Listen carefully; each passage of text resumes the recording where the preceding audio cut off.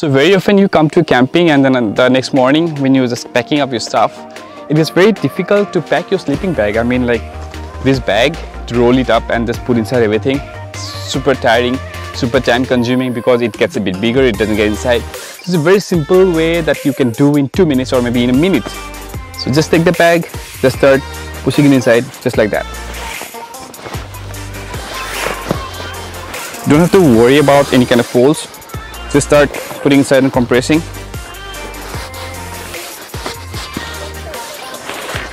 You're done, very simple, just tie it up and you're ready in just less than a minute, I guess.